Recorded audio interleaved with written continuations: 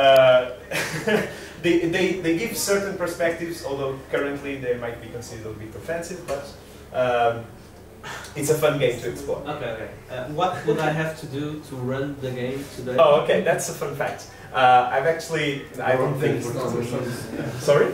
Oracle. So basically, you just need uh, um, a, a VM, a, a virtual machine, where uh, I think